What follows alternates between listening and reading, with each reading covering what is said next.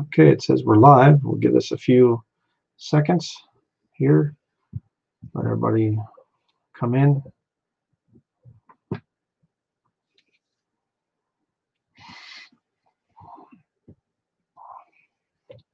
See, four people are watching. Hi, Anthony. Hi, Adam. Hello, hello. um, yeah, we'll just give us a few minutes here. There's a couple of people coming in. Hi, Andrew. All right. Louisa, hi. Redhead Roofing in July. Hi. Uh, Tom, hi. All right, we will get started here. Hi, Christian. Um, so, uh, I've seen this stuff in the comments, and I'm seeing this thing of the Revelation 12 sign thing and Virgo, the Virgin, all this stuff, and I thought, what? You know, and, and I have to admit to being a little stupid because I kind of thought, you know, back then, years ago, I was thinking to myself that this whole Revelation 12 sign thing was thoroughly debunked and it won't come up again. It failed, it flopped. And I thought, there's no way anybody's going to bring this up again. Never underestimate the uh, stupidity and ignorance of the lost people out there. It's just insane. Yeah, it's back. So um, here we have Robert Breaker, the Revelation 12 sign reborn. Uh, so uh, that's kind of an interesting thing there because um, I didn't know that a failed prophecy could be reborn. Um, I don't remember. I'm trying to think here where that's at in the Bible. Do you know where it's at, Oliver? No. It's in there though somewhere. It has to be because you know Robert Breaker. He's you know he's got what 668,000 subscribers, and you don't get there unless you're honest. And you know especially on YouTube. Mhm. And um, you know, I mean, hey, it's there someplace. Failed prophecies can be reborn. Born, I mean, born again prophecies apparently. born again failed prophecies. So uh, before we get to this, I'm going to show you. I actually took my old videos down because I didn't think it would be brought back. But uh, my the uh, backup channel that the one brother does for me, um, King James Video Ministries, there. And here are the two old videos that I did five years ago. Okay, actually, it'd be more like six years ago. Um, and I, you know, I didn't think there was any need to keep the videos up, so I took them down. I was getting into a little bit of the imminence thing and whatever, which, you know, understanding when we get to the end there where you have a lot of the signs fulfilled for the church age um, that are there in the end times, perilous times shall, shall come, men shall be lovers of, the, of their own selves. Some shall depart from the faith, giving heed to seducing spirits and doctrines of devils, speaking lies and hypocrisy, having their conscience seared with a hot iron, you know, forbidding to uh, marry and commanding to abstain from meats you know? So um those are prophecies for us that we will see before we leave. So you know what whatever i've talked about the imminence thing before but i got into some of there so i deleted the videos. But um i get into it and just talked about how it's ridiculous this whole thing this revelation chapter 12 thing that this it's a constellation up there it's not a constellation we'll talk about that here in a minute but um let's start out with the scripture here, Deuteronomy chapter 18, verse 20. But the prophet which shall presume to speak a word in my name, which I have not commanded him to speak, or that shall speak in the name of other gods, even that prophet shall die. False prophets in the Old Testament, you give false prophecy, it carried the death penalty. Uh, it was a very serious thing to lie and say, God showed me this, and when God didn't do it. Verse 21 And if thou say in thine heart, How shall we know the word which the Lord hath not spoken? When the Lord is not speaking through these, these guys, um, when a prophet speaketh in the name of the Lord, if the thing follow not nor come to pass, That is the thing which the Lord hath not spoken. But the prophet hath spoken it presumptuously. Thou shalt not be afraid of him. Okay, he has no power, in other words. Um, it doesn't come to pass. And you'll see this funny thing in the beginning here. We'll watch the first few minutes of Breaker's most recent sermon. But in this whole thing here, I'm going to click on this one. You can watch the other one too. I get into some of the scriptures there, but all right. Um, I'm not going to play the whole video. You can watch it if you want to. But I get into the thing of that uh, basically there was this, you know, just the people attacking me in the comments, saying all kinds of nasty stuff about me. Typical. Uh, you're wrong, Bryan. You're wrong. You're lying, and whatever else. This is crazy. You know, you're you're attacking. You know, prophecy. It's going to happen. No, it didn't happen. And um, on Wikipedia, I show that this thing of William Tapley's channel, Third Eagle Books, uh, actually had this whole thing on there, and um, and it goes down to and it says about media attention and critics, and it was actually um, written about in the Washington Post, the Boston Globe. Mainstream media covered this thing when it came out. They love to cover false prophecy stuff. And this is this William Tapley guy. He's a total papist, just wacko nut and he came out and he's saying, you know, showing this chart right here, the 23rd September 2017, just like Robert Breaker did back then in 2017. And here he's talking about all this weird stuff. Again, you can watch the video. I'm not going to go through this whole thing. Um, but uh, where's the thing? Okay, I was talking in here about this. We'll talk about this in just a minute. Um,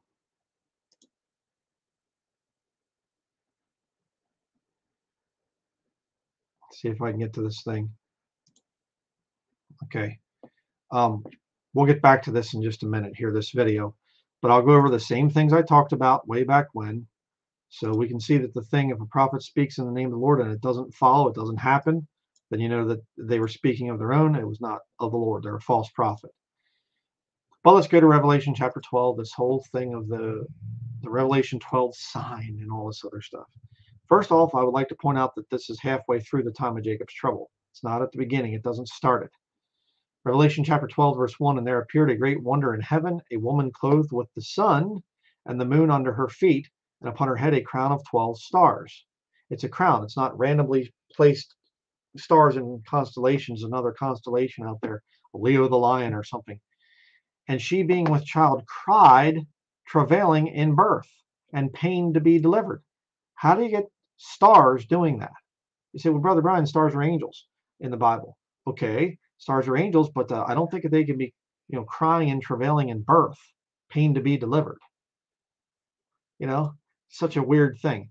And there appeared another wonder in heaven, and behold, a great red dragon, having seven heads and ten horns and seven crowns upon his heads. And his tra- tail drew the third part of the stars of heaven and did cast them to the earth. And the dragon stood before the woman, which was ready to be delivered, for to devour her child as soon as it was born. Where's the great red dragon constellation that's right below the feet of the woman and, and things? Okay, John sees a woman. He does not see a constellation. Doesn't say, I saw a woman in the shape of stars, and above her head there were more stars. He doesn't say that. Just go with the, and how, how could stars be clothed with the sun? Just read the Bible. All right. Uh, it's insanity how people can fall for this stuff. But here's the important thing Robert Breaker blasphemes Jesus Christ in this, actually calls the Lord Jesus Christ a liar, you know, not in those exact words, but he says it by implication. I'll play it here. And it's just kind of, eh, you know, whatever. Listen to this. And to you. You disgusting little false prophet, you. You make me sick. Let's continue. The last thing that I want is for you to be left behind. Yeah. Are you saved? So I hope that answers the question. Many say that no man knoweth the day or hour. Why? I do not concur. I mean, people, wake up for crying out loud.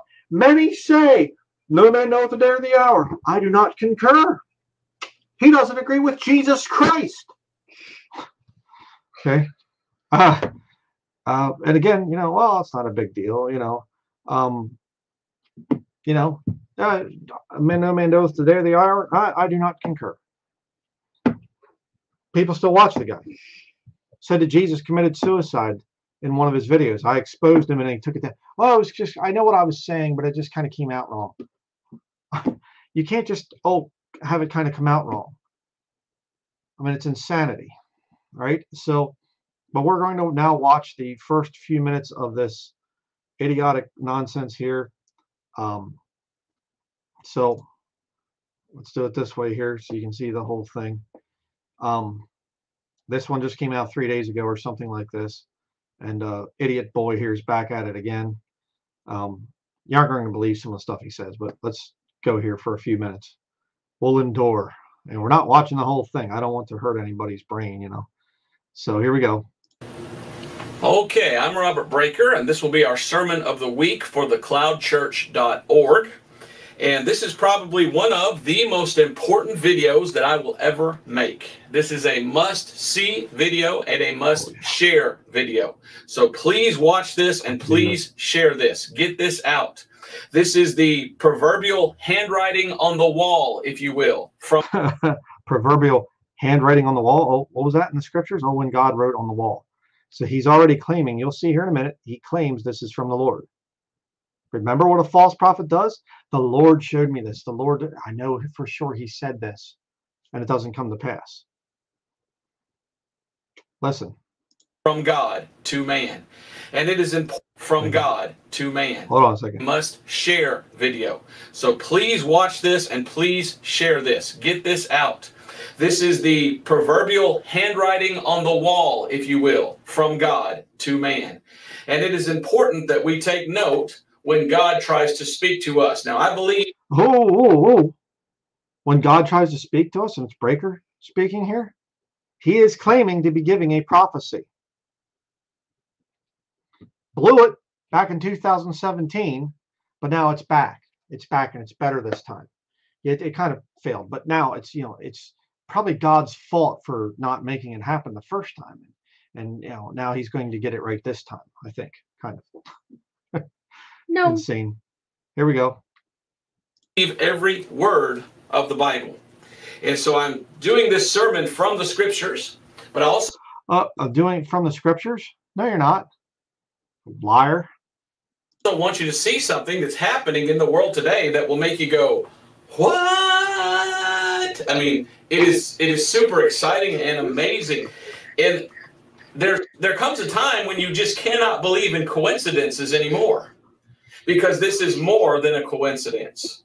This has to be God. Now, how do we interpret it? How do we understand it? That's what we're trying to do today. I want to go only to the scriptures, but I also want to show you about something that's taking place. Now, this is entitled The Revelation 12 Sign Reborn. Don't look up. Why did I say don't look up? Well, I'll, I'll get to that here in a moment. But if you know anything about me and who I am, I'm Robert Breaker. I'm a missionary evangelist to the English and Spanish speaking people. And I preach online in English and Spanish every week, and I try to bring you a new sermon.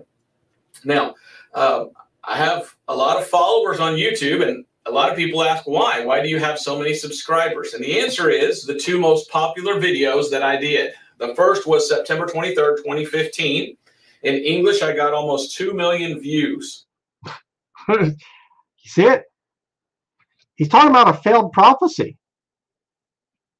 Uh, and, and he'll say, oh, well, you know, I wasn't actually prophesying the date. September 23rd, 2015 is a date. Okay, if you're saying it could be September of 2015, not sure of the day, that's one thing. But he writes a date on the board there, right there. This is what made me popular. And then he says, I didn't predict a date. You know, um, this isn't a brush. It's a brush. Continue. On that video. And I didn't set a date or anything like that. And I didn't set a date or anything like that. And Spanish speaking people, 23rd, 2015. I didn't set a date. I didn't set a date or anything like that. September 23rd, 2015. Uh, no, no, no. It's not. That's that date is not a date. You see, there can be dates, Oliver, that are not dates. They're just dates. The thread is not thread. It's thread. Yes, there you go. You you got it. Now you're thinking like Breaker, or or not thinking. I'm not sure which it is. Let's continue. In English, I got almost 2 million views on that video. And I didn't set a date or anything like that in the sense of I think the rapture is going to be on such and such a day. Rather, I said, wow, all over the internet, there's people that are talking about this certain day, September 23rd, 2015. So I said, I'm going to make a video about it and show you all the things that they're saying. Well, I did the same thing again on September 23rd, 2017. That was my most watched video. In English, it got almost 10 million views. Paid off good, didn't it, Breaker? Yeah. And uh, back in those years, that's when you admitted to uh, having people falsely inflate your numbers, which is illegal to do, which I exposed on my channel. Video is still up on my on my channel about that. Artificially using bots to inflate his numbers. Mhm. He admits it, They're not the real. but you know, of course not. Totally illegal. Can't do that on YouTube unless your name's Robert Breaker and Gene Kim. He likes to do it as well. But uh crazy. Let's continue. And there was something that took place in the stars on September 23rd, 2017, that I thought was worthy of talking about. And I still think it is. I still think we should talk about that.